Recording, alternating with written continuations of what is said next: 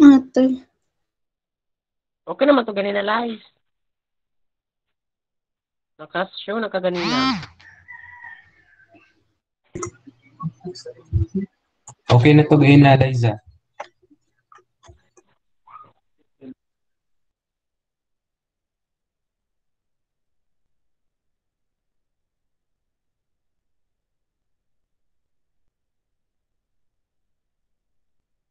Kisha na lang daw mag-share, sir. Sino? Si... Si Kisha, sir. Ah, sige, go.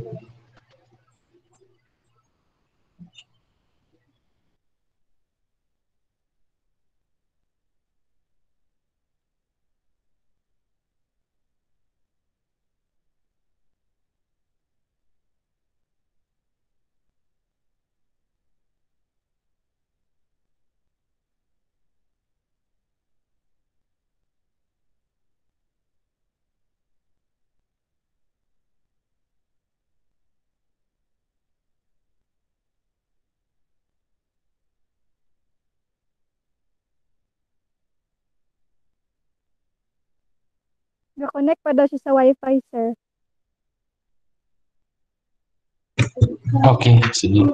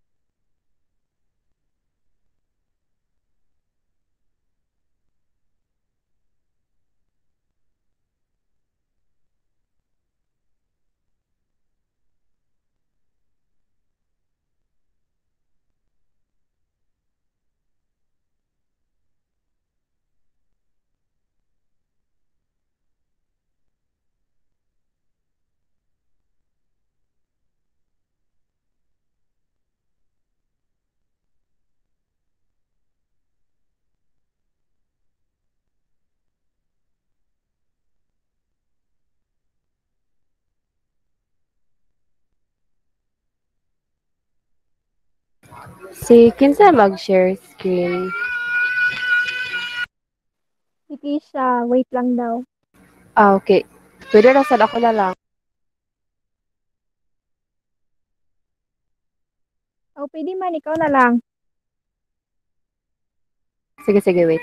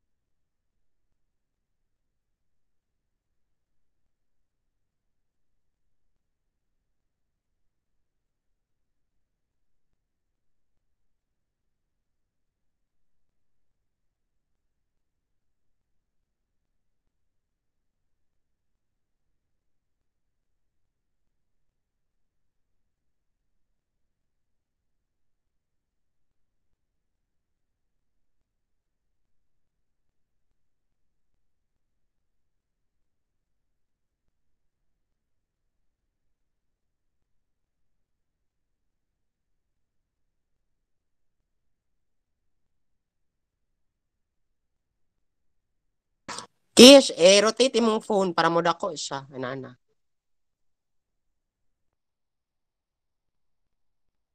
Thank you, Kate.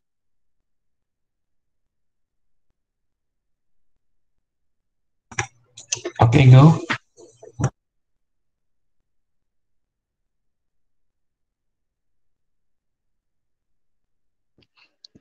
So good afternoon, sir and classmates. So we are the group 7 and we are tasked to discuss about global civil society. Globalization links distance I ay palihog next.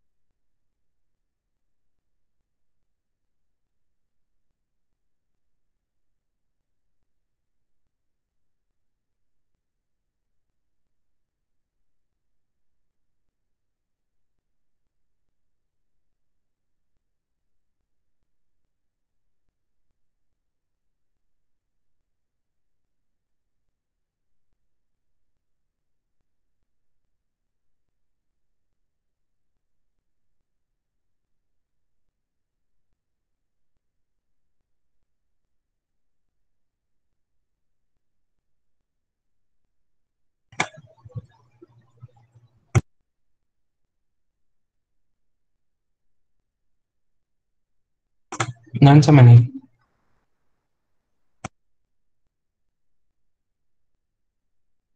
Nawala si Umampang, sir. Ay, nag-join Left si ay, sir. Nara, ah, nara, nara, na, nawala ang signal. Ah. So, kung, sige, dira lang sa nga slide. Okay.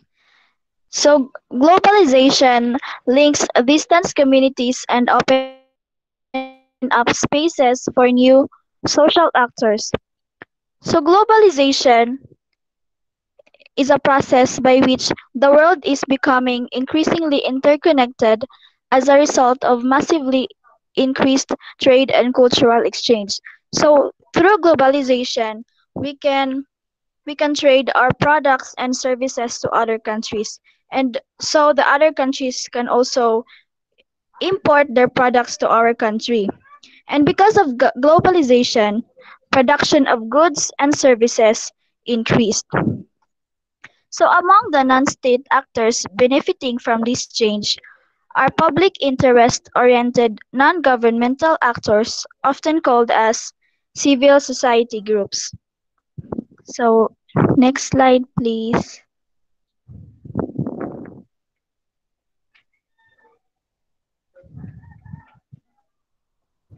So what is civil society? Civil society is a space outside of government, family, and market. So sa giingon pa ni Sir ganina, dili ni siya part sa dili ni siya in, dili involve ang government ani ang family or market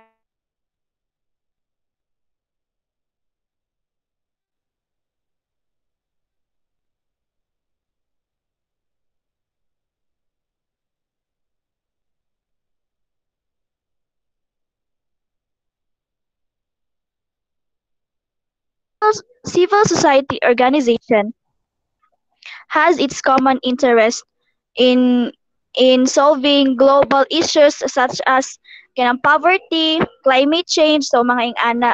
So so civil society organizations include community groups, non-governmental organizations, social movements, labor unions, indigenous groups, charitable organizations, faith-based organizations, media operators, diaspora, and etc. So, ang civil society organization is daghan ni siya, gicompose siya og mga daghan nga groups. Example is community groups, mga non-governmental organizations, which has a same kaning goal sa glo kanang naay goal nga mag solves isa ka global issues. Then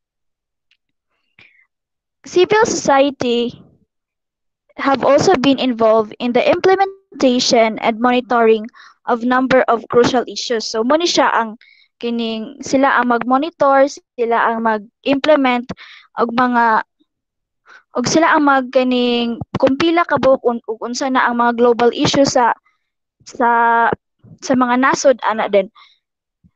This range from the trade to development, poverty reduction, from democratic governance to human rights, from peace to the govern environment, and from security to the information society.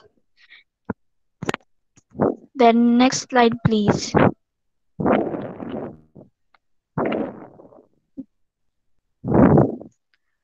So there are three theoretical perspectives that can be used to interpret um, global civil society.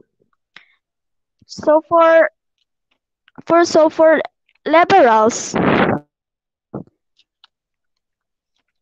liberals may understand global civil society as the actor that provides a bottom-up contribution to the effectiveness and legitimacy of international system. So sila ang para sa liberalism nga perspective is ang global civil society is mag-provide og bottom-up contribution to the effectiveness and legitimacy of international system. And for realism, realists may interpret um, global civil society as a tool used by most powerful state to advance their ultimate interest abroad. So para sa sa realis- realist perspective, ang purpose daw sa global civil society is gamiton sa mga powerful nga state para mo advance ilang interest abroad para mas para ma-promote o ma-popularize ilang ideas sa ilaha lang national interest sa mga powerful nga countries. And then for Marxist, Marxist may see global civil society as political vanguards that can spread a different worldview that challenges the dominant order. So next slide, please.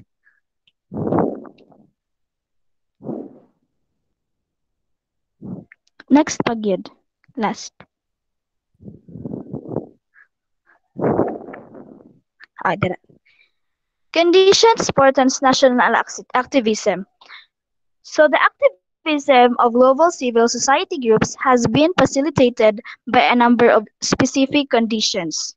So first, a number of international organizations have been supported the inclusion of civil society actors within international decision making.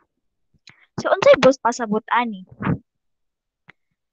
So ang civil society actors is involved sila sa mga international decision making na ilahang mga ginadawat sa sa ang ilang opinion is accepted sa pagdis pagbuhat og mga decision para sa ikabubuti ng koan para murag for the betterment of everyone. So kina so ang ang civil society is na kaning um importante ang ilahang decision making. Ilahang importante ang ilahang um opinion about ani I mean. So example is the 1992 UN Earth Summit in Rio de Janeiro so what happened in in this Earth Summit is that the non-governmental organizations who presented their own vision for the world's future in relation to environment and socio-economic development. So, di ba, kining importante ang civil society actors in international decision making because kining ginakuha ni ginakuha sa mga different organizations ang mga opinions para mas para mas makabuhat sila og mas effective nga solution sa ingana nga problem or example is the environmental problem. Then second is The state's priorities for the allocation of resources changed in 1980s and 1990s due to the trend towards the privatization of industries.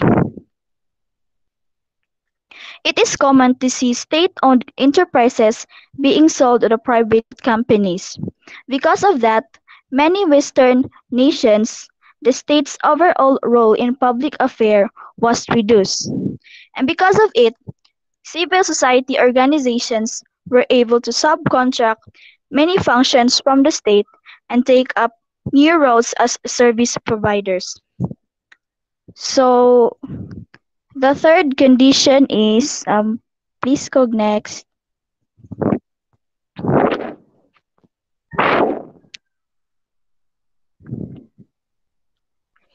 The third condition is globalization process has generated a sense of common purpose among civil actors.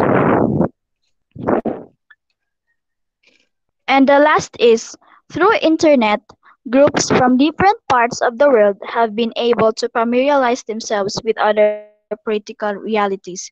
So, dili lang mga non-governmental organizations ang invo ang ang, in, ang ma-include sa civil society. So, apil gyapon ana ang mga ang mga media.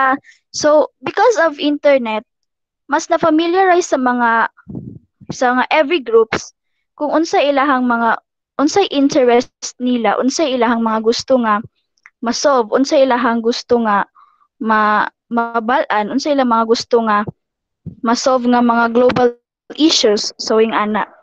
So in this way, they have been so in this way they have been able to increase their political know-how and their ability to join forces in addressing common targets. So because na sila mga common interest, na sila pari-pariha nga mga gusto nga mahitabo, na sila gusto nga ma-solve, so mas ma-familiarize nila unsa ilaha mga targets, unsaon nila pag achieve ani nga ani nga problema. So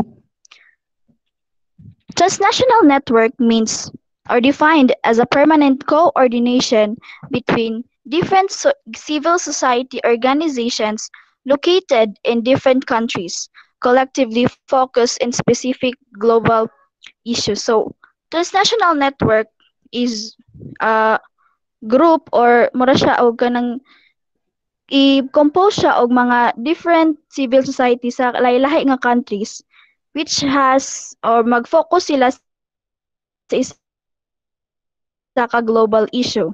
So, by forming the transnational network, civil society organizations have used their leverage in the, at the international level. So, next slide, please.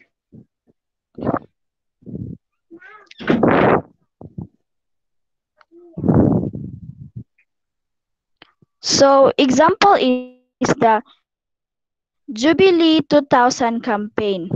So, unsa may nahitabo aning unsa may nahitabo sa Jubilee 2000 campaign? So, what happened here is nagtipok-tipok ang mga religious organizations because gusto nila nga ang katong mga 29 countries from Afghanistan to Zimbabwe, which is si kani nga mga countries ang 29 countries is considered the world world's poorest. Na sila utang sa mga foreign nga mga katong mga developing countries na ni sila utang nga 17 billion US dollars sa and then ang ang gina-advocate sa mga religious organization is i-cancel ang debt ilang utang sa kuan o na di, di ba na diri nga kuan to induce the creditor government and the International Monetary Fund kanang mga ilahang gusto nila nga i-cancel ang katong mga katong utang sa mga pobre nga mga countries sa mga katong ilahang nautangan nga mga kuan mga foreign nga mga nasod. Then the campaign to land the next is the campaign to ban landmines landmines which led to the environ intergovernmental conference in Ottawa where mine ban Treaty was signed. So because of the campaign, nay nabuhat nga Mine Bond Treaty nga i-cancel na ang pag-mine sa mga kuan. So mun- nahitabo ni siya last 1997. So daghan pa og mga ongoing campaigns such as mobilization on environmental justice, gender recognition, LGBT right, rights which is very common and then food and secret security. So that's it. Next.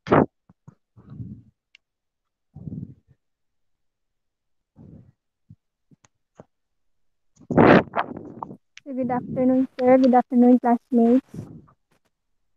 Good Global afternoon. Civil Society as our response. Global Civil Society as a response to trans- transnational exclusion. So in today's complex world, traditional institutions have struggled to provide effective and legitimate responses to global issues. So man ni nga mga global issues?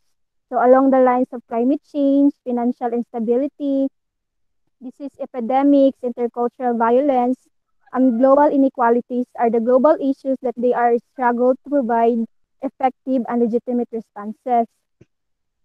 And civil society action at the international level is predominantly focused on building political framework with embedded democratic accountability.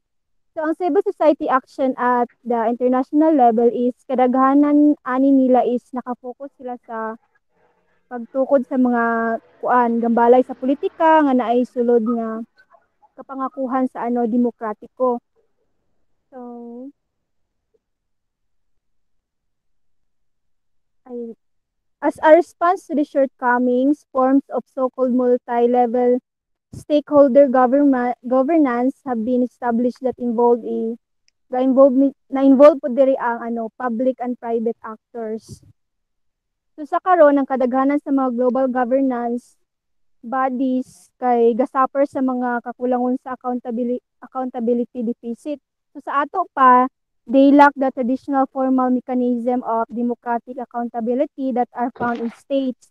So unsa man ni sila so such as popularly elected leaders, parliamentary oversight, and non-partisan courts.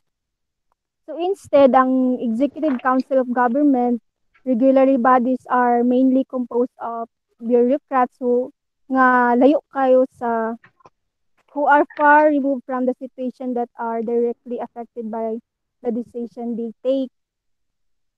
And so ang mga tao diri sa in sa mga tao in peripheral geographic area areas and in marginalized section of society are especially deprived of recognition ilang mga voice ang influence in most contexts of global governments as it is currently practiced. So, detection of such an international system is ma-describe ni siya or i-character as or makarakterize as or makarakterize sila by transnational inclusion. So, in recent decades, most global regulatory bodies have begun to develop closer relation with civil society organization precisely in order to fill this legitimacy gap. So, in recent decades, gadanghanan sa mga global regulatory bodies kay nagsugod sa nagsugod sila og pagbuhat og mga kuan grabe kasuod nga mga relations sa mga civil society organization aron mapuno ni siya nga legitimacy gap. So while ay for example ani is the Committee on World Food Security within the UN Food and Agriculture Organization has reserves reserved seats for different types of organization. So unsa man silang mga organization so na-include diri ang non-governmental organization and social movement, social movements, research centers, financial institutions, private sectors association, and private philanthropic foundation. So while the rule of so while the rule of civil society organization in this context is predominantly based on consultative status, they allow the civil society organization to have a seat at the table. So diri is ginatugutan nila ang mga civil society organization no nga makaapil ani nga mga kuan yes makaapil ani nga mga or kaning mga kalihukan so given their need to balance the deeper impact of society with greater legitimacy global governance institu- institution have been under pressure to be more exclusive and attentive to political demands coming from below so thanks to such dynamics no kay mga civil society actors kay ma-manage sila to ay civil society actors have managed to increase their access to international agenda settings, ilang mga decision making, monitoring and implement and implementation in relation to global issues. So at the same time, slide, Kate, please. So at the same time, the challenge to the inclusion of civil society actors in global governance mechanism remains significant. Si- Nganong significant man kain siya? So, the particular reason for circumstance kay new inter- institutional structures are continually emerging and and the challenge in terms of integration is therefore endlessly renewed and also new institutional filters are created and civil society actors have to constantly refocus and adapt to new circumstances. So ang example ani is provided by the announcement in 2009 that the main economic council of Philippine nation would shift from the G8 to the G20 format. So the G20 meets annually and it's composed of ka-compose ni og 19 states plus the European Union. Together, ani its member account for roughly 80% of the world's trade. In this instance, civil society activists have been lagging behind. Activism around G8 was intense, but the meetings of the G20 have only recently attracted a similar level of attention. So that's it. Next. So next is values promotion and creating change. So at the core of dynamics leading to the emergence of transnational activism is the perception that there would be a possibility of change in the area of one specific uh, global issue. So civil society organization should be viewed not only as um, uh, traditional problem solvers, like placing a new problematic issue on the international agenda. But actually, uh, uh, the key feature of transnational activism is like precisely stubborn to attempt the influence on normative battle on the right and legitimate. So there are two elements of mobilization that would be conceptualization and political commitment. So transnational mobilization on global issues should be interpreted as the result of several several steps. So there would be a crucial challenge for any transactional network that is present to issue at stake. So para makita nato ang like result na siya uh, para masabtan sa nato ang ang ang global issue is we need to follow some several steps. So like sa una, th- uh, the case of feminism. So through the action of a number of feminist movements, beginning with the suffragettes in the late 19th century. So di ba before is ang ang kuan jud ato sa women is dapat sa balay lang or wala kayo sila rights nga mag-eskwela. But then lately as time goes by, the traditional role of women was challenged and eventually replaced by new egalitarian position entitling women to have equal rights sa ato ang society. So the first step in cross-border mobilization is the production of knowledge and creation of frames. So kinahanglan sa nato siya i-analyze kay para makabalo taon saon pag correctly interpret sa issue. So the second step is the external dissemination and strategic use of such knowledge. Next slide, Sat, please.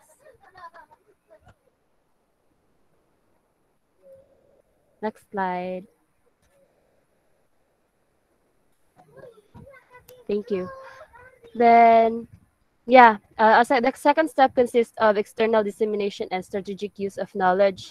So, mo na siyang crucial, crucial stage because at this point, there would be information that acquires fully dimension and therefore political significance. So, ang public opinion is kailangan siya ma-attract and kana ma-capture siya for framing the terms of the conflict in such a way that the issue at stake uh, becomes the focus of a general interest requiring public engagement. So there would be a dissemination, often passes through scientific channels. So um, the networks, anong channels, uh, they become active players in the communities uh, on the experts of global issue.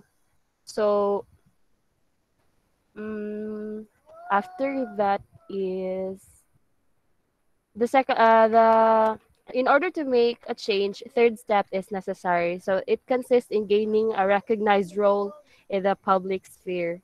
So transnational networks need to offer a response that enables them to claim representation of interests that are wider than just of those small groups.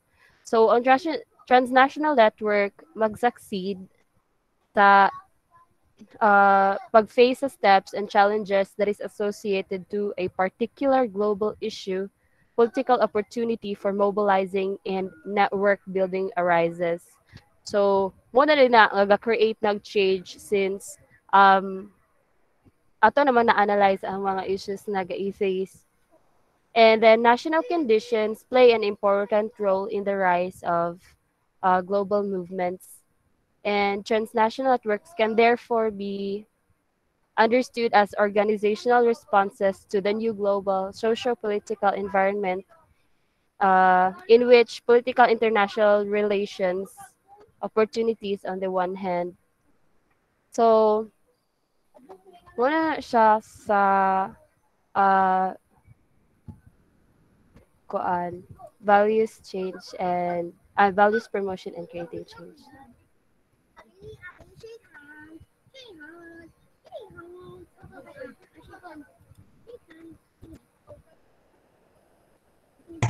Who's next? Kasi sunod. Ako, sir. Okay, continue. Well, it is clear that civil society organization cannot aim at replacing the traditional channels of political representation. It is recognized that they often play a key role in broadcasting. True broadcasting man kay mabal-an nato unsa ilang gusto i-solve nga kuan nga problem. From the activist perspective, the issue of political representation should not be interpreted as a matter of who they represent, but rather what they aim to represent. So, dapat dili nila i-interpret lang kung, kung, kung kinsa sila nga kuan nga organization, organization. Dapat kung unsa gyud ilang gusto i-represent kay it's all about the issue and values man nga gusto nila i-solve, i-solve para sa whole. civil society organization usually claim to advance the public interest. So aya sila magkuana na nga opinion balag dili klaro kung unsa na nga public interest tungod sa nakadaghan na global issue like climate change. Eh, dapat gid kay mag-set sila kung para ba na sa public good ug unsay uns- kung effective ba na siya. To explore the issue of legitimacy, we can look at the two extremes of the civil society spectrum the divide between mainstream politics and the radical group. At one extreme, there are the civil society organization that one established by the government and international organization. Ug radical group, at one extreme we find we find civil society organizations that are considered criminal such as terrorist groups and mafia organization. So they are the example of full integration into and full ex- exclusion of political system.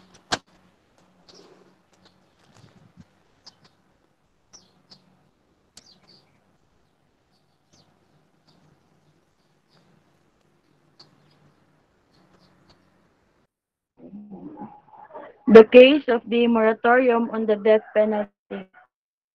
Moratorium is a suspension of in until further consideration warrants lifting the suspension, such as if and when the issues that the moratorium have been resolved. So, it is all understand ang um, phrase na the case of the moratorium on the death penalty.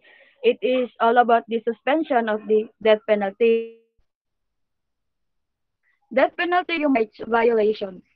Abolishing the death penalty is a key aspiration of human rights activism. So, one of the driving force of the human rights human rights activism is to eliminate the penalty. The International holds that the death penalty breaches human rights, in particular the right to life and the right to live from torture or cruel, inhuman or degrading treatment. Or so, Amnesty International is one of the biggest, biggest or um organization that whose concern is of human rights. Next slide, Kate.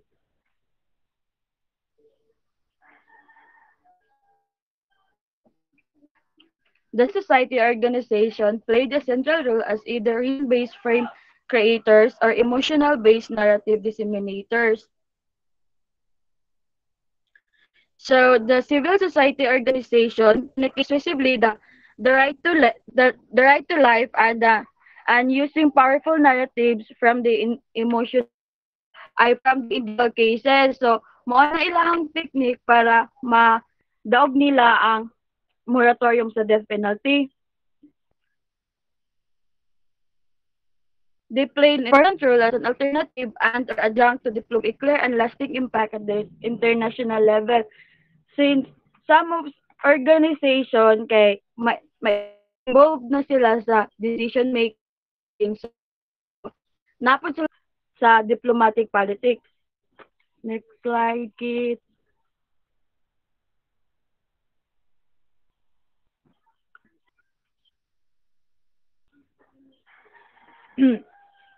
so, the Seventh General Assembly resolution calling for a moratorium on execution adopted since 2007 lemons global consensus against the death penalty.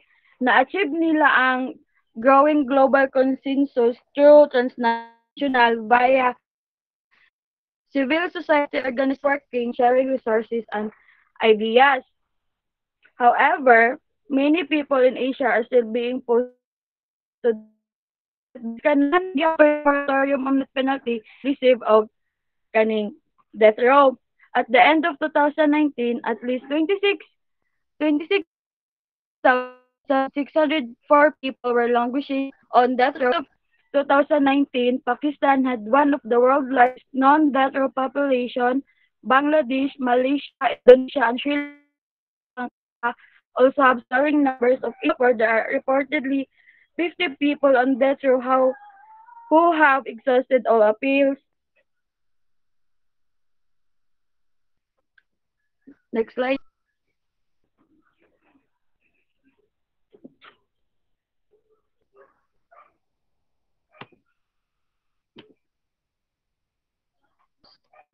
Sumamani siya sa moratorium on the use of death penalty na ay 120 countries na nag-vote para sa morat moratorium and na ay nag 39 countries nag-vote na no and kanina 39 countries is more on Asia. Tapos na 24 na abstain. Next slide.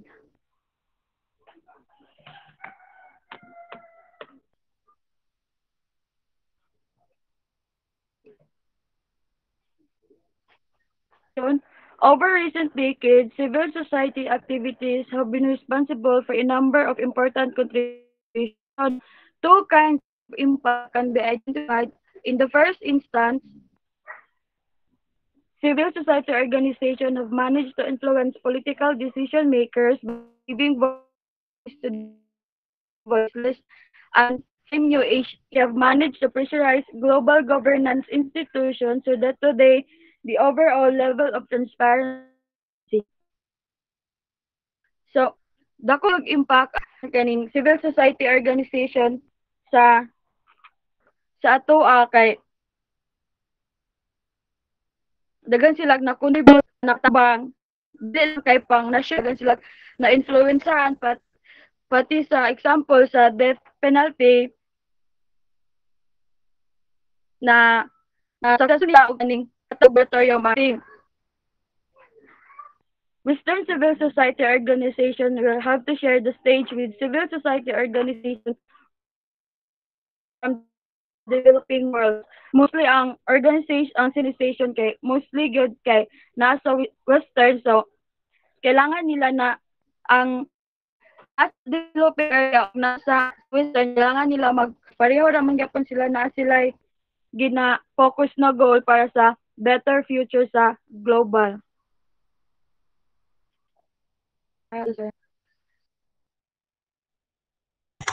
Are you done? Yes, sir. Uh, yeah. Questions? Clarifications?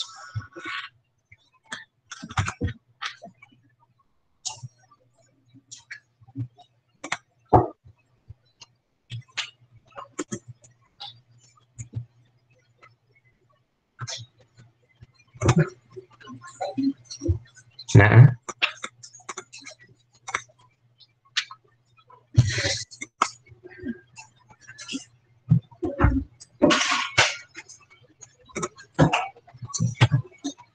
I will show you a ano ha, a window.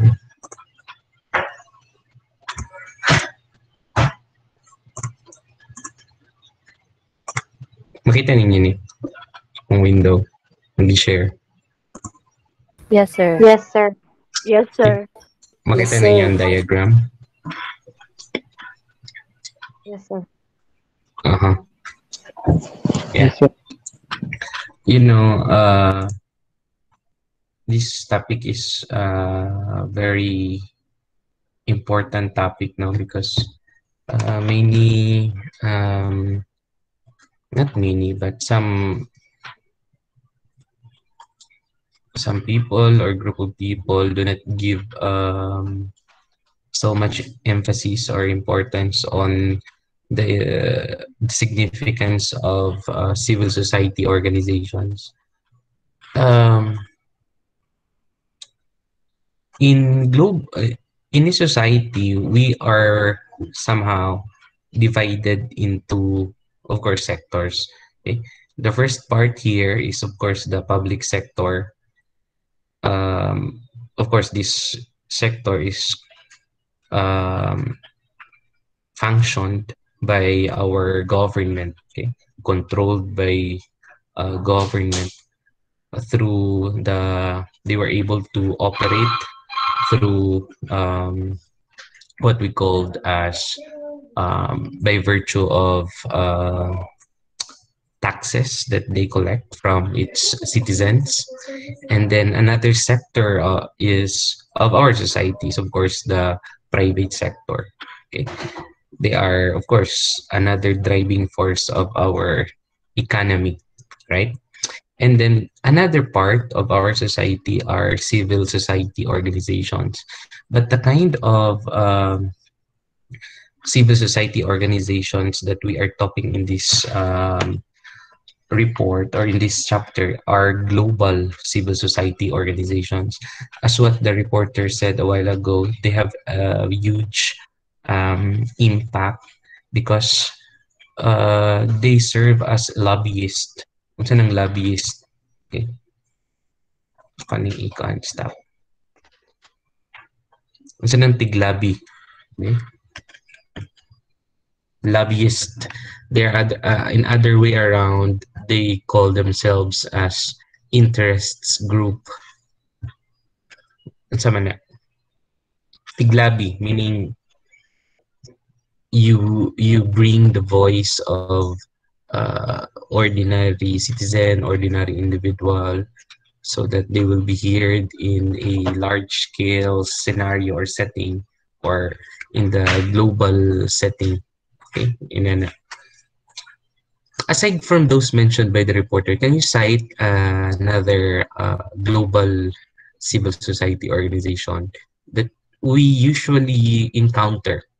Okay, okay in the previous report, ato mang identify no? Kung are kung ba siya, governmental organization ba siya? Like for example, the United Nations, ASEAN, APEC, kani sila?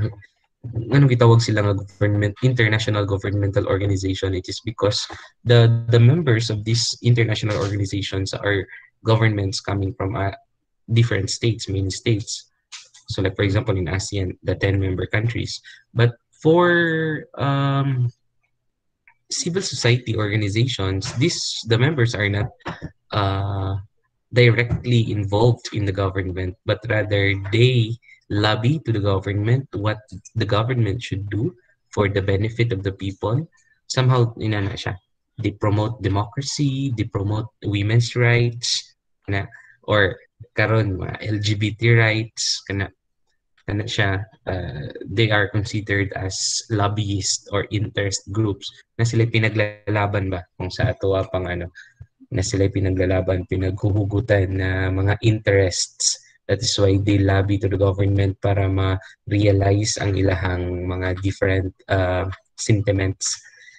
Um, they are very crucial because they serves as the um, lobbyist towards decision makers. Okay, so may decide. Of course, the in the public sector, it's the government that will decide. Another, um, how did they able to uh, help good mga ordinary citizens?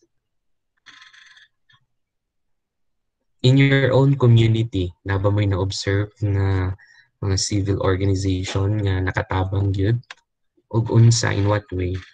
Be, nga here somebody from the class.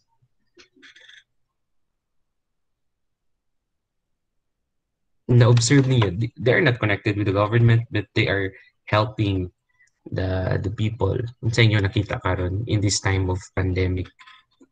Daghan daghan mga civil society organization nga gatabang in different ways in many ways di ba yes uh, community pantries Jackie Love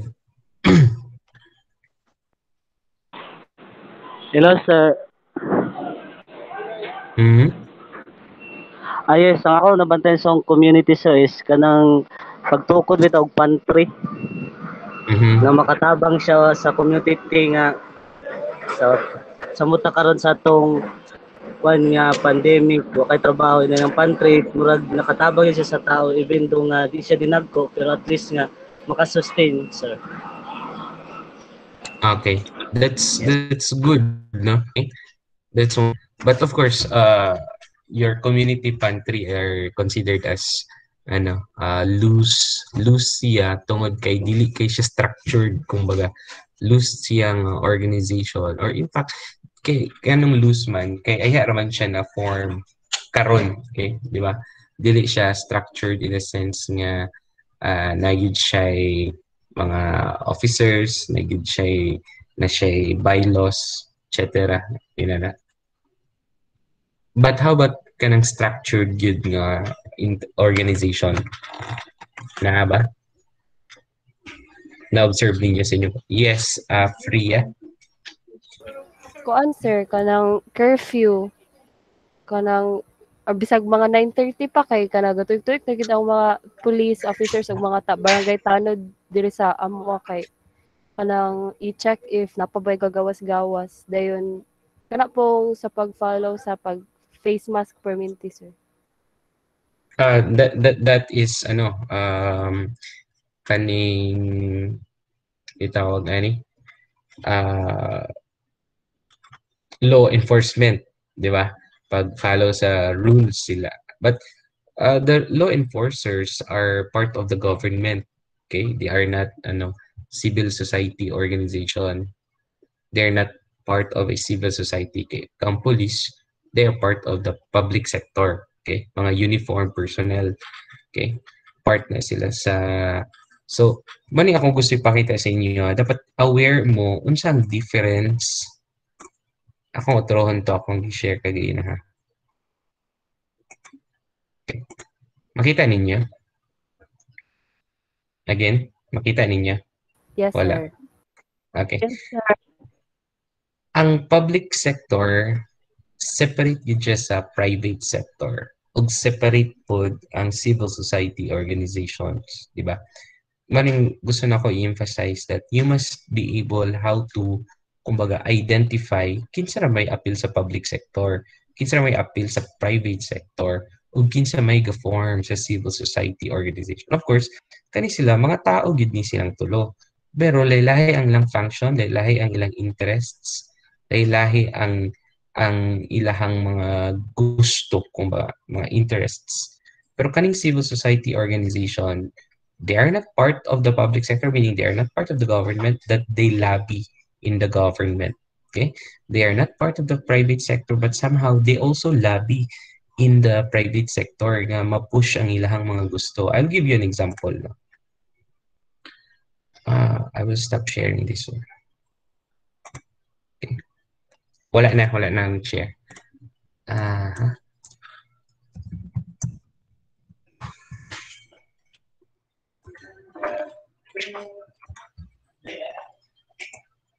na ako ipakita sa inyo na image. Mm.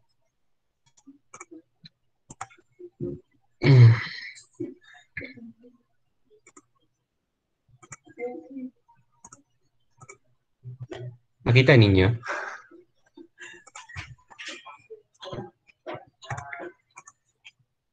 Makita ninyo ang Yes, sir. image? Yes, Unsa may symbolize ani? Unsa ang symbolize? Ha? Makita Cross ninyo? Or Yes, medical, medical, medical, Mid red cross, sir. Uh, medical something. Red Cross. Red Cross, sir. Okay, correct. You're correct on that.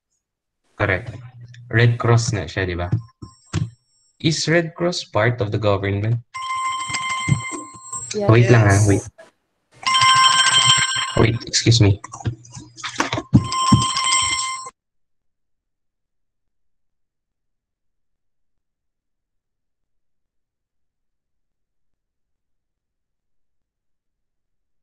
Ah, go, uh, let's go back to my question. Is Red Cross part of the government? Who says yes? ng sector, sir. Private sector. Elected, sir. Kinsa yung nag-ingon ka na nga part siya sa government?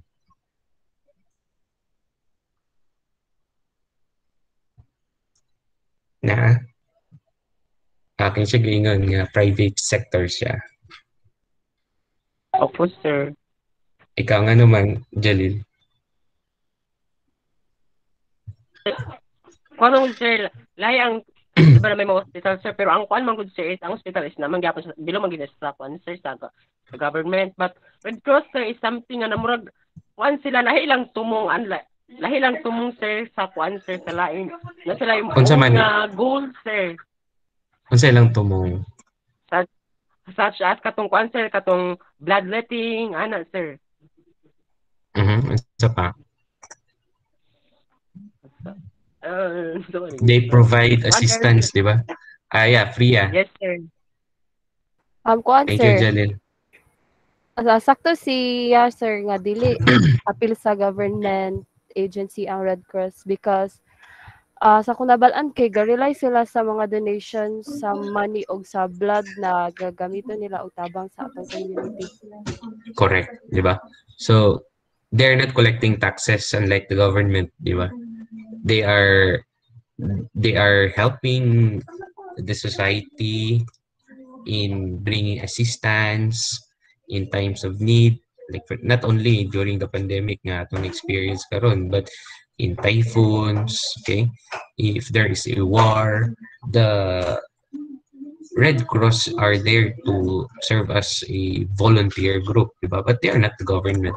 But if you observe in the country, they have a very, kumbaga, uh, huge part in the Philippine, in the Philippines. Dako ilang ginatabang, di ba? Kitsa na may natabangan sa Red Cross dire, Kami sir. di ba? Sir. Oh, daghan, di ba? But they're not the government. They're not connected in the government. If you observe in the news, okay, uh, na as sila ginatabangan may um, may dugo, di ba? Assistance, gihatag sila magpa swab test, magpa RPT-CR nga swab test. Na sila. In fact, they are the government is paying them, di ba? Inana. But of course, they are they are not part of the government, but they lobby. Okay, na sila, mga lobbyist, mga interest group na sila. And it is considered also as an international global society. Kay dili raman siya diri sa Philippines. Ang iyahang scope worldwide kumbaga. Yun na. Pero pag mayon kag UN, ASEAN, of course that is uh, governmental organization. Okay? How about um, International Labor Organization, ILO? Okay. ILO. Ayan. Akong i-share sa inyo ay symbol.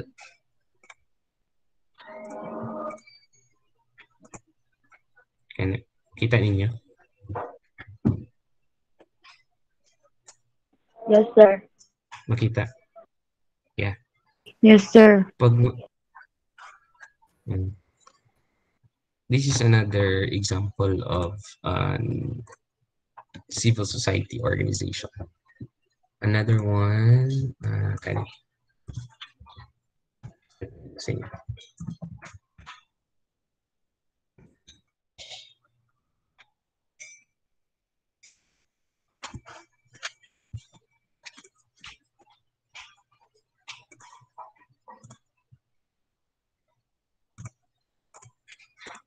How about this one? Kita?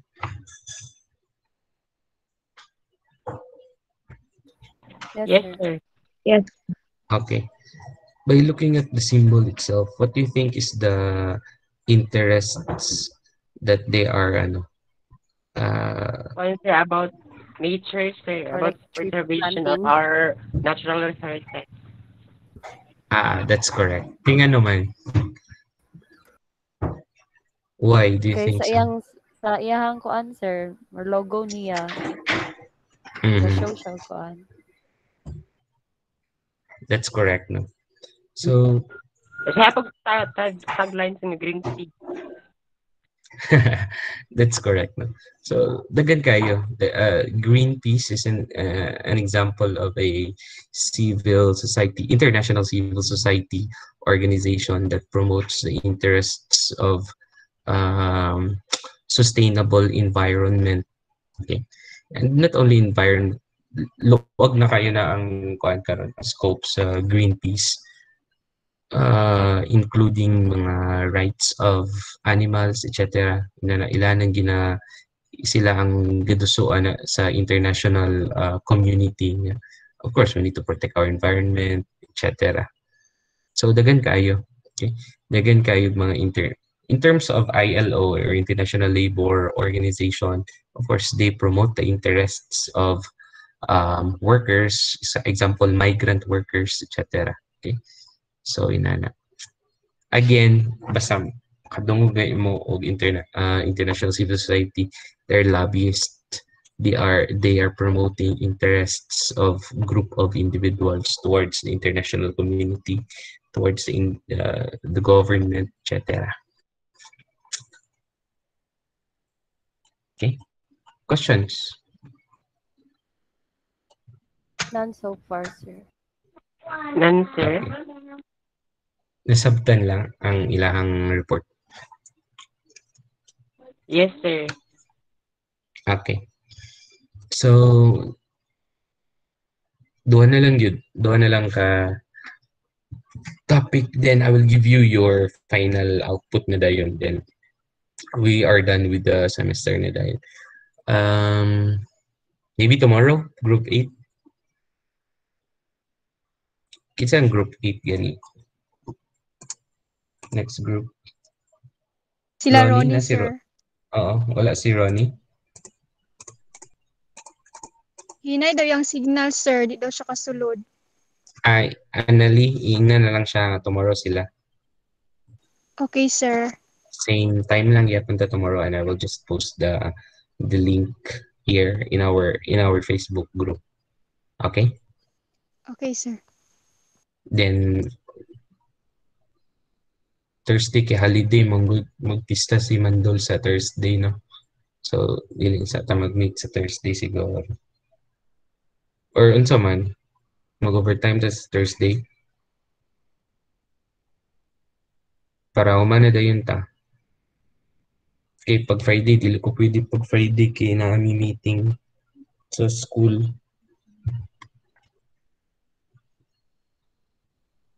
Ah, we will just decide tomorrow kung unsa ang uh, ang pleasure sa body. We can have uh, one one hour anyway one hour or less than one hour man pud nga uh, meeting. Then I can give you your ano na yan, final exam and then your final output, your term paper. Na. Ang yung, supposedly, I'll give you your midterm exam, but sa finals na lang, tanan nga, tanan nga report, uh, I will give, get, I, I will get questions coming from all the reports. And then, of course, your final output will be a paper. Inana siya. I will, I will just post it in our uh, Facebook page. And of course, I will give you enough time to answer it. Diba? Uh, up to the, ano siguro, mga last week of the month. Inana. Wala na yung gasulod si Prince Salinas, no? How about in your other classes? Gasulod siya? Wala, Japan, sir. Wala, gyapon. Ah, kasi si Prince Salinas.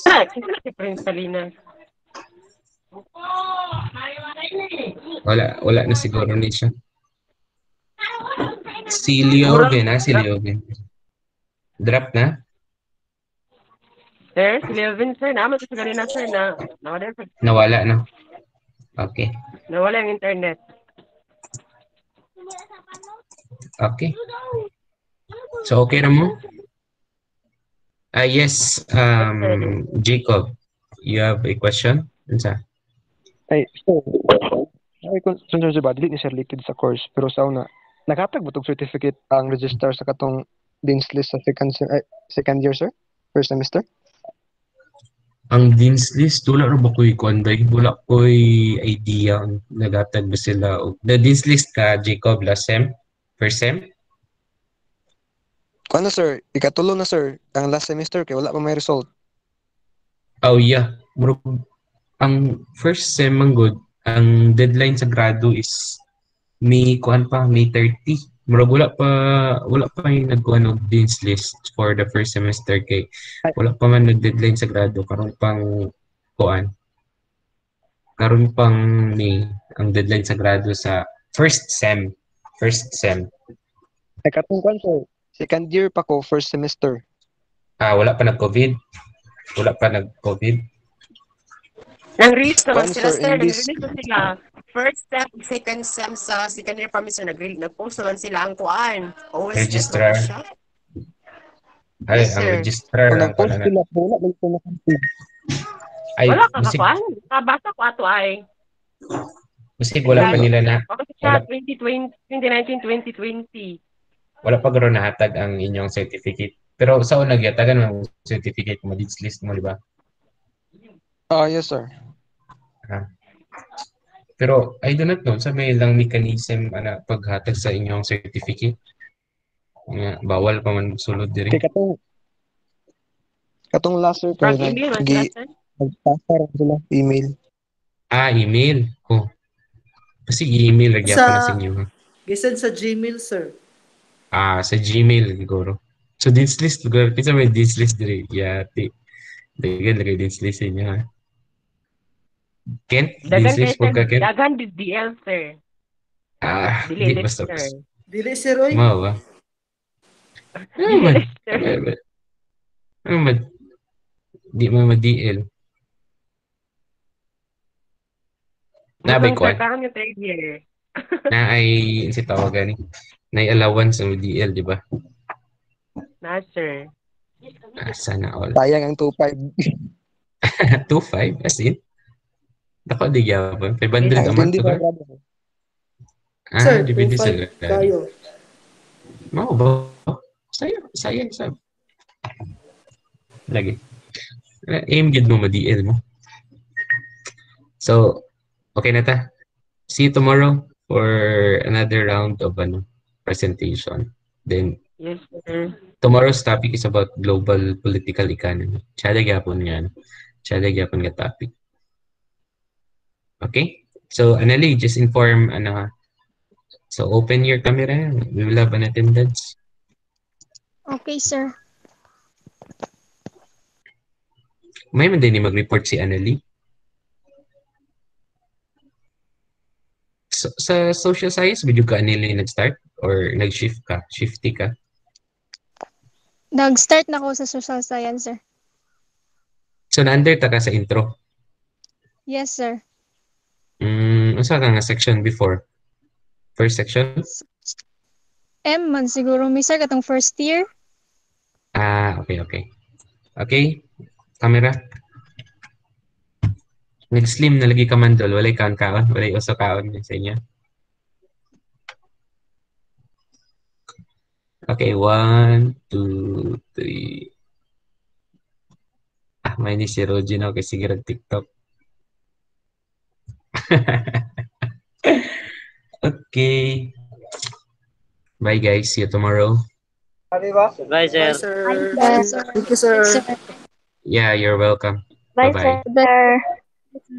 Thank you, sir. Thank you, sir. Yeah, sure. Bye-bye.